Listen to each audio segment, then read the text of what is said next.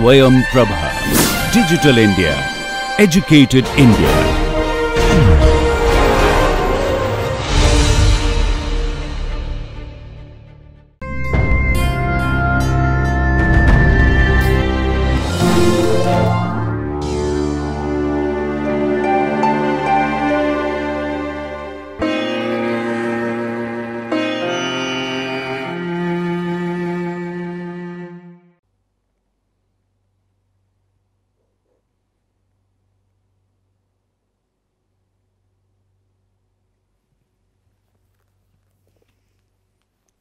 Sir. Good morning.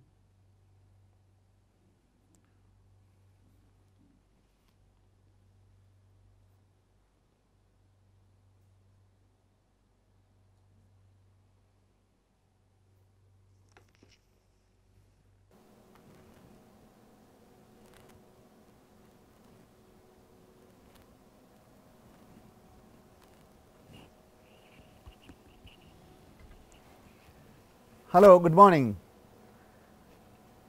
Did you notice how did I enter the classroom?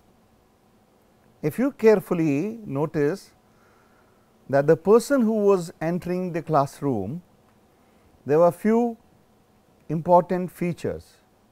Number one, the person entering was very slow pace. Number two, his hands were like this that is called a slowness of motion. Hands were rigid, the face was very expressionless and there is a imbalance of the body. Now, that is what are called as the cardinal features of Parkinsonism and this is uh, what the Parkinsonism means.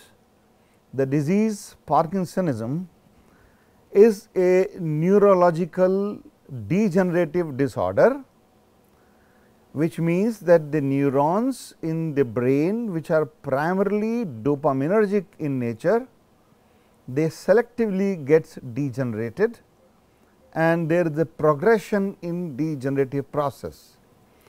This usually starts after 60 years of age and progresses beyond that. Therefore, this is called as a progressive neurodegenerative disorder. There are four cardinal signs of uh, Parkinson's disease, which you might have seen. One is the muscle rigidity and this muscle rigidity is also called as cogwheel rigidity that means if you put it like this it is like a cog wheel and this is the typical rigidity of Parkinsonism. When a person has any activity to be done, the action is usually slower than the normal and if a person takes 5 minutes to come from the main entry to the podium instead of 30 seconds this is called as a typical bradykinesia. There is also when I am sitting here my, there are tremors it is not the tremor which you see in anxiety it is not the tremor which you see in thyroid disease it is the tremor which you see usually in even in the resting stage. This tremor gets exaggerated when you become conscious of your disease or when you are tense. So, you see the patient of Parkinson has a small tremors all the time, but it may, may be exaggerated when there is a tension. There is also the fourth is the gait disturbance and the simplest thing is when you draw a straight line and if you see that the person is on the straight line, he walks not on the straight line, but he walks like this, he cannot follow the straight line and that is called as a postural instability or the gait disturbance. Typically, if you crack a joke or if you become aggressive, there is no expression on the patient of Parkinsonism. That is why it is called as a mask like face. And in addition, the Parkinsonism patient also have anxiety, they also have a depression, they also have a forgetfulness that is called as a cognitive impairment and therefore, this is anxiety and Parkinsonism is overlap. The anxiety, Parkinsonism and depression overlap. So, this indicates that many times the patient of Parkinsonism also get anti anxiety drug, also get anti depressant drug, also may get anti cognitive and uh, uh, or cognitive enhancement drug. That does not mean that they are primarily drug of Parkinsonism. Now, if you just see what is the etiopathology of Parkinsonism, the most important cause of Parkinsonism is idiopathic. That means, we usually do not know what is the contributing factor in addition to the age. People have identified several environmental toxins, pesticides and other things which can gradually desensitize or degenerate the dopaminergic neuron. One of the environmental toxin called as MPTP or 6 hydroxydopamine, these are the drugs which are chemicals which can cause the selective dopaminergic degeneration and they are often also used as to produce experimental Parkinsonism in animals. But largely we do not know that if this is the specific chemical in environment or this is the genetic difference which is contributing to the Parkinsonism. Many times after stroke ischemic stroke particularly or sometime the hemorrhagic stroke, the post stroke sequelae also there is a dopaminergic neuron degeneration which leads to Parkinsonism like symptoms. The another group of agents which can cause Parkinsonism are the drugs which uh, block the dopaminergic neuron for the immediately this is the drug, this is the receptor and this drug blocks the dopaminergic receptor and therefore, this dopaminergic receptor blocker blockade will cause temporary symptoms of Parkinsonism. This is also called as a Parkinsonism like syndrome or this is also called as a extra pyramidal reaction of the drugs. This will naturally happen with all the drugs which have anti dopaminergic property or dopamine receptor blocking action. And if you see the drugs which can cause that is the antipsychotic drugs haloperidol is commonly used antipsychotic drug, chlorpromazine which is widely used drug for vomiting in children refractory vomiting and also the commonly used anti-emetic vomiting metoclopramide. Metoclopramide is a drug which acts on by blocking the dopamine receptor on chemoreceptor trigger zone and therefore, preventing the vomiting. But when this dopamine blockade also occurs in the brain, it causes the temporary symptoms of Parkinsonism and that is called as a extra pyramidal reaction. And if you remember that is why metoclopramide is nowadays less preferred than domperidone which does not cross the blood brain barrier and therefore, you do not get the Parkinson's like syndrome side effect. The if you just compare these two pictures here, this is the substantia nigra and in this substantia nigra, you see that this is a pigmented substantia nigra, this is a dopaminergic neuron which has been shown here and this dopaminergic neurons if you see here this is a diminished in substantia nigra. Now, usually the dopaminergic neurons as with other neurons also they get decreased over a period of time, but when the dopaminergic neurons are reduced in number functional dopaminergic neurons decreases more than 70 to 80 percent only then symptoms appear. Before that that means the dopaminergic degeneration the neurodegeneration starts much earlier, but the symptoms appear much later and because the other dopaminergic neurons take care of that.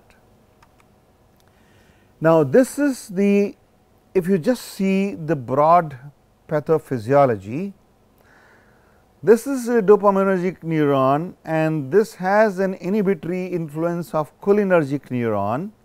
So, this is the dopaminergic neuron, this is the cholinergic transmission and this has a inhibitory influence on this and when there is a Parkinsonism the dopaminergic neuron decreases and therefore, the influence inhibitory influence on then as, as this cholinergic system increases and this goes up. So, what you finally see that dopaminergic neuron and cholinergic transmission imbalance, whereas the dopaminergic transmission decreases and also there is a relative increase in cholinergic transmission. Therefore, if you just see how the strategy would be, the strategy of treatment would be that to correct this imbalance that means decreased dopaminergic activity, your approach is to increase the dopaminergic activity. The increased cholinergic activity because of relative lack of inhibition to reduce the cholinergic activity. So, two approaches. One is decreasing dopaminergic activity, the other is increasing decreasing cholinergic activity and the third approach is that you approach both together in some patient increasing dopaminergic activity and reducing cholinergic activity.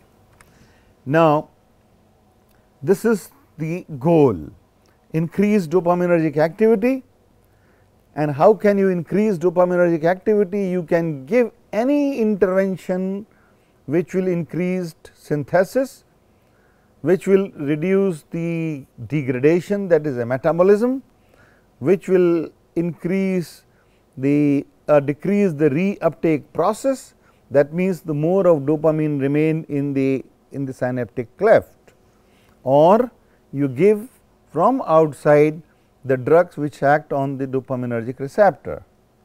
On the other hand, the strategy to reduce cholinergic transmission would be to give specific anticholinergic drugs which will act on the brain not act on the periphery, but act less on the periphery and reduce the cholinergic transmission. Some symptoms like rigidity and uh, bradycardia or bradykinesia, these two symptoms respond better to anticholinergic drugs and other symptoms respond better to anti to dopaminergic enhancing mechanism. Now, this is uh, if you just see a summary a simplified diagram of a dopaminergic nerve terminal, there is three important things you see. One is the mechanism of how dopamine is released in the synaptic cleft. From tyrosine, there is a converted by tyrosine hydroxylase to L-DOPA and L-DOPA is converted to dopamine by DOPA decarboxylase enzyme. And this dopamine is now stored into vesicles in the presynaptic nerve terminal and then this vesicle is ruptured and by exocytosis this is released as a neurotransmitter in dopaminergic nerve terminal. After this release this acts on the postsynaptic receptor which are ion channel and this postsynaptic receptors are either D2 receptor primarily in Parkinsonism or D1 receptor also and then this causes all action. Now, this released dopamine can also go up back to the neurotrans back to the neuron and this is called as an uptake mechanism. This released dopamine also gets metabolized extra neuronally if you just see this into the liver primarily by an enzyme and there are specific enzyme. For example, the extra neuronal metabolism is primarily by catecholamine O methyl transferase called as COMT and when it goes inside the neuron, the inside the neuron it is primarily metabolized by enzyme called as monoamine oxidase. Now, monoamine oxidase are primarily of two types which is called as a MAO A which is mainly seen in alimentary canal and MAO B which is primarily predominantly present in the brain and just for the remembering sake you can say B for brain and MAO B is more predominantly present in brain. Now, if you look for what could be the strategy of uh, treatment for enhancing the dopaminergic transmission could be a you increase the dopamine concentration. Dopamine does not cross the blood brain barrier. Therefore, we give L-DOPA. You give L-DOPA in a high dose, so it goes into the brain only small quantity of the drug reaches into the brain and then it will convert it into dopamine. Therefore, dopamine because it does not cross the blood brain barrier is not the drug which can be given in Parkinsonism is the levodopa. Levodopa is also converted into dopamine outside the brain. Therefore, you want to give a drug together which will more concentrate the levodopa into the brain. The second approach would be that you give the drug which reduces the which reduces the monoamine oxidase enzyme. So, that the, the destruction or the metabolism of dopamine becomes less and that is called as monoamine oxidase inhibitors. And in this particularly MAO or monoamine oxidase B inhibitor are used. The third approach could be that you also give COMT inhibitor which will also reduce the metabolism peripheral metabolism of dopamine therefore, increasing the amount of dopamine present here. Third approach is you directly act on the receptor postsynaptic receptor so, you give dopamine receptor agonist primarily dopamine D2 receptor agonist. As I said if you remember I said primarily dopamine D2 receptors are involved, but also D1 is involved. Therefore, the drug which will be receptor agonist would be D2 receptor agonist, but the drug which have D2 plus D1 receptor agonist also will be slightly better. So, now if you recap the drugs would be for enhancing dopaminergic transmission is the drugs which will increase the release or uh, in the synaptic cleft is levodopa. B the drug which will reduce the metabolism that is intraneuronal mechanism monoamine oxidase B inhibitor C the drug which will reduce the metabolism in extraneuronal mechanism that is COMT inhibitor, D the dopamine receptor agonist acting at the postsynaptic D2 and D1 receptor. And 5 the drugs which will shift the dopamine L-dopa into the brain that is the carbidopa and that is what the strategy we apply. Now, just to recap here. So, therefore, if you sum up the drugs used to increase dopaminergic activity is number 1 dopamine precursor that is levodopa because dopamine itself cannot grow cannot go enter into the blood brain barrier. Dopamine agonist these are the two type of dopamine agonist ergot alkaloids bromocriptine and the another one is pergolide. Number 2 there are non ergot also like apomorphine. Apomorphine is one of the most powerful dopamine receptor agonist, but it is not used much clinically because it stimulates dopamine receptors at chemoreceptor trigger zone therefore, it causes vomiting. So, apomorphine is most of the time used as a drug given to use vomiting in poisoning cases.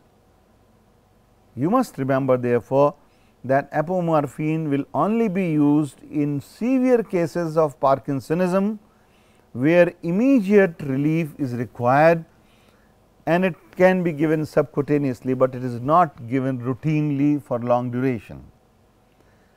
The other drug is monoamine oxidase B inhibitor and these drugs selegiline and rasagiline. Now, this has uh, an advantage because when the dopamine is metabolized to by monoamine oxidase inhibitor, it causes release of free radical. Also, when levodopa is converted into dopamine, it also causes release of free radical. That means, the free radicals are released at two stages. One is when the dopamine is synthesized from precursor, the other is when it is metabolized by metabolizing enzyme and with that logic a drug which has an additive antioxidant property will be useful and fortunately MAO-B inhibitors selegiline and rasagiline both have significant antioxidant property and that is why they are they have been used. COMT inhibitors as I said for preventing extra neuronal metabolism of dopamine are entacapone and tolcapone. These are the two used drugs and this mechanism is less important than the other. Therefore, these drugs are not primary line of treatment, but are often supplemented with other drugs increase in, in dopamine release from the transmitter and this drug is amantadine and this is again a primarily antiviral drug, but it is also been found to be effective in release of dopamine. Therefore, this has also been tested and found to be useful in some cases of Parkinsonism. Now, the other part if I said if you remember the dopaminergic transmission is decreased and because of the loss of inhibition the, the balance of is shifted and cholinergic mechanism is increased. Therefore, the other approach is to reduce the cholinergic by giving anticholinergic or anti-muscarinic agent.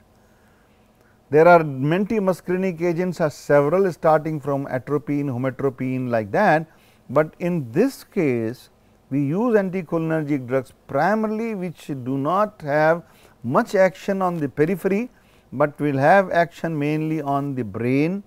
And these are trihexyphenidyl and benztropine. So, these are the two drugs which are primarily used in Parkinsonism naturally when these drugs will act on Parkinsonism, this will also have some effect on the periphery. Therefore, the side effect of these anticholinergic drugs in patient of Parkinsonism would be that of anticholinergic system that is dryness of mouth, constipation, urinary retention and precipitation of glaucoma. This is important particularly in old age when the patient is having a constipation as a usual feature.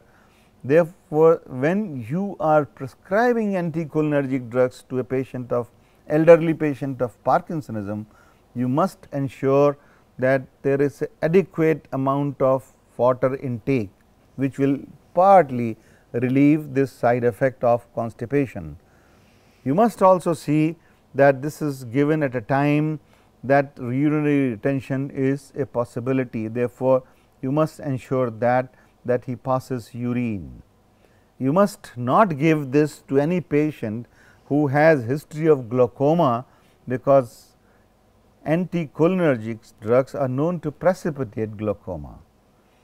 This may also cause dryness of mouth and the patient may come with a complaint that his mouth is always dry and therefore, you must pre warn the patient that dryness of mouth may happen with these drugs nothing to worry about it take sips of water and have a frequent water intake.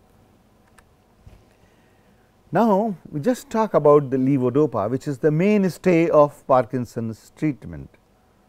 It is a it is a dopamine precursor and it is decarboxylated from levodopa to dopamine and this enters via L amino acid transporter. When you use transporter that means this is an active transport into the brain. It is not a passive diffusion and that is why you sometimes get a higher concentration in brain. And what is the mechanism of action of this is that it stimulates dopamine receptor and also may stimulate dopamine D1 receptor. As I said primarily it is a dopamine receptor which is involved, but if it also blocks the dopamine D1 receptor this will add to the mechanism of action or to the efficacy of the drug.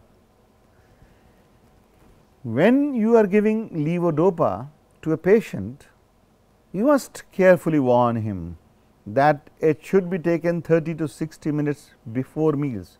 This is one of the uncommon example where the drug is more effective when you take before meal.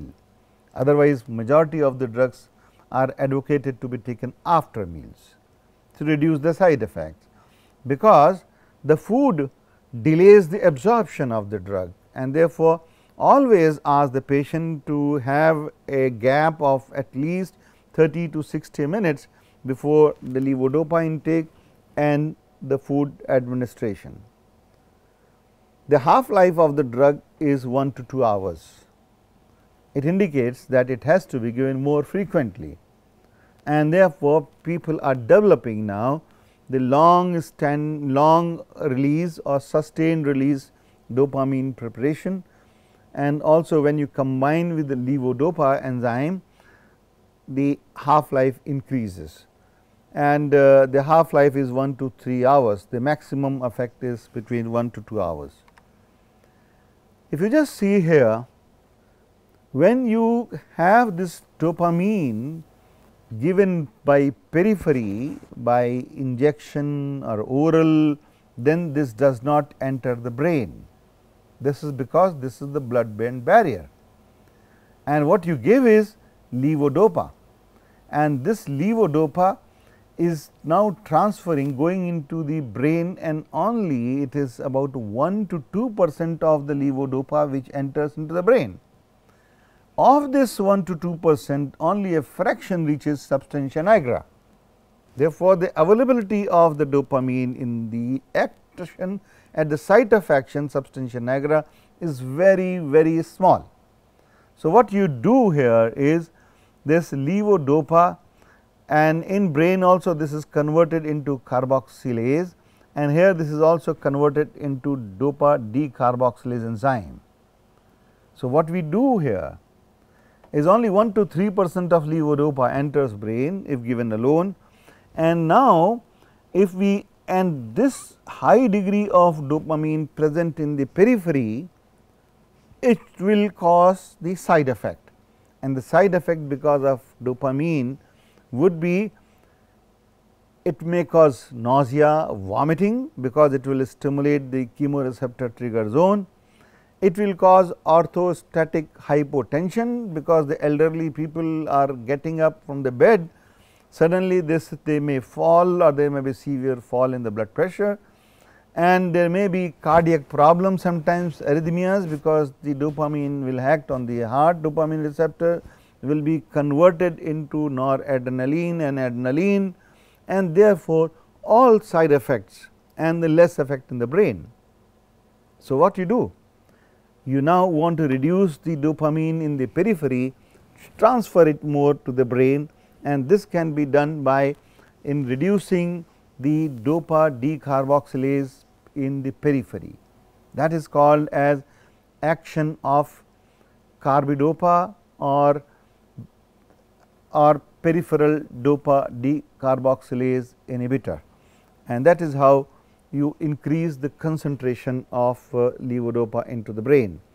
And in practice levodopa is always combined into carbidopa with carbidopa in a fixed proportion. Therefore, levodopa and carbidopa are most of the time are available as fixed dose combination in a specific ratio usually 1 is to 10 ratio and they are never carbidopa is pharmacologically otherwise inert it is the dopamine increasing mechanism.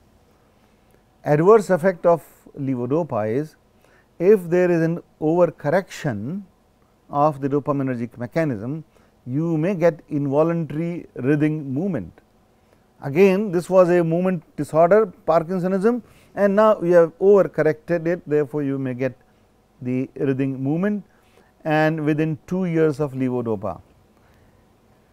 Choreoathetosis of face and maybe ex distal extremities and these are dose dependent phenomena. The increasing dose usually patient of Parkinsonism is started with the lowest dose and the dose is titrated upwards till the symptoms improve and there is a maximum dose of levodopa carbidopa is when the patient reaches at a level where he feels adverse effects. Very significant and very distinct feature of levodopa therapy is wearing off phenomena and this appears at sim that means I am giving a person of Parkinsonism levodopa treatment with carbidopa and after few days sometimes weeks and sometimes months the patient does not respond and patient's symptoms appear. This is because you your dopaminergic receptors are already 80 percent lost. What you are giving is the drug dopamine agonist which will stimulate the remaining 20 or 10 percent dopamine receptor. Now, if you if you hammer these receptors too much then these receptors remaining receptors will not get time to rest or re-energize and these receptors may get desensitized. Therefore, after some time you have to stop this drug and then leave these receptors for regeneration or resensitization. This is called as on and then you again give the drug after maybe a one day gap. This is called as off phenomena and this is called as on phenomena. So, this is usually called as on off phenomena and to prevent this what you do is to reducing the wearing off the drug you have what is called specifically in this a drug holiday. What is drug holiday? That means after every 7 days or 6 days on Sunday you do not give the patient dopaminergic drug or anti-Parkinsonism drug, allow the patient's dopaminergic receptors to regenerate and then on Monday you start the treatment again. This drug holiday is a very classical because when you are giving a drug holiday not giving the patient a drug, the patient will have worsening of the symptoms and at that time patient should be forewarned that to be in the hospital not or to be in the whole house and be under supervision and also not to do any fine work like driving machine work at machine and tell him that the symptoms may get partially worsen, but then this is being done for that the symptoms can get better next day and this is what is called as a rapid fluctuation in hypokinesia, rigidity and dyskinesia. This can happen. This is called as on off phenomena in Parkinsonism. The side effect because the sum of the dopamine will act on the chemoreceptor trigger zone D2 receptor will cause nausea and, and anorexia. If there is a vomiting never give anti dopaminergic drug as antiemetic because then it will also counter the dopaminergic benefit. So, in such case the vomiting induced by levodopa should be treated with not anti-dopaminergic drug by anticholinergic drugs. Hypotension can happen particularly in elderly population because the autonomic nervous system is not that strong. So, one has to be careful Sometimes because of overcorrection there may be symptoms of agitation, delusion, hallucination or what we call as a schizophrenic symptoms. In that case one should correlate that is it because of the drug or is it because of the overcorrection and that is the time when the titration of the dose is required. Certain drugs should not be given or should be given with caution vitamin B6 because this is a cofactor monoamine oxidase inhibitors if they are getting monoamine oxidase inhibitor which act on the periphery also and not on the brain then this may have an interaction. Dopaminergic drug should not be given if the patient has psychosis because the dopaminergic system is involved in the behavioral alteration. Active peptic ulcer or melanoma because sometimes bleeding has been reported in that. The other group is dopamine receptor agonist action through postsynaptic D2 receptors and this is the first line of treatment usually and preferably this is in younger patient because there are the receptors are still very much intact and you get less symptomatic relief than levodopa, but have lesser incidence of fluctuations in dyskinesia.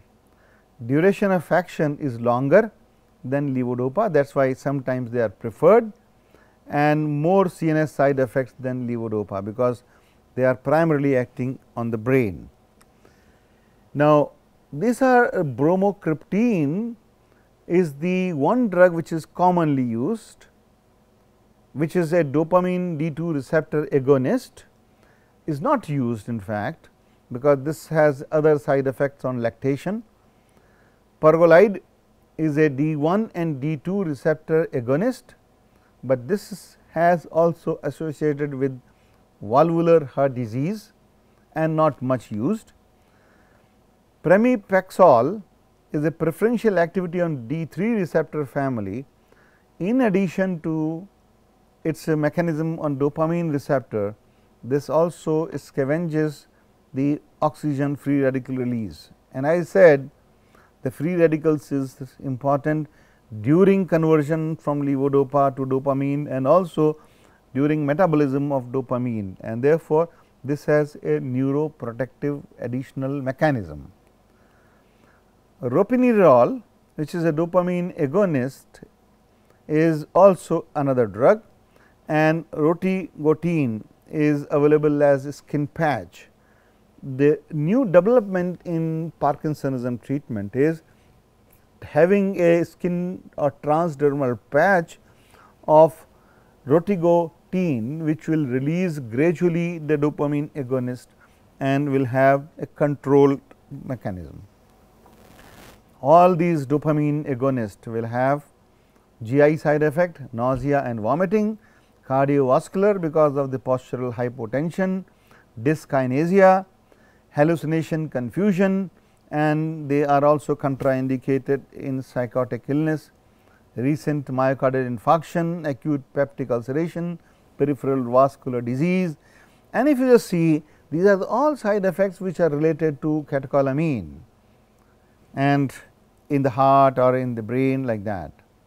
Apomorphine as I mentioned is uh, not so commonly used as a regular Parkinsonism, but it is used as a subcutaneous injection and is used primarily an acute intermittent off episodic phenomena.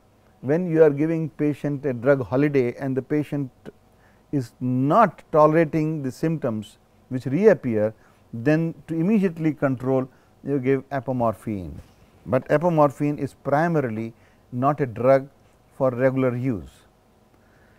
Selective monoamine oxidase B inhibitor as I mentioned inhibits dopamine breakdown in the brain and used as a adjuvant therapy to levodopa.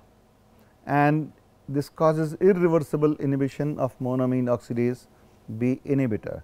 And the drugs as I mentioned earlier selegiline and rasagiline and uh, another drug which is not yet available in India is safinamide and they are not preferred because of the drug interaction. They have monoamine oxidase inhibitors particularly when they act on monoamine A also then this can cause hypertension or hypertensive episodes.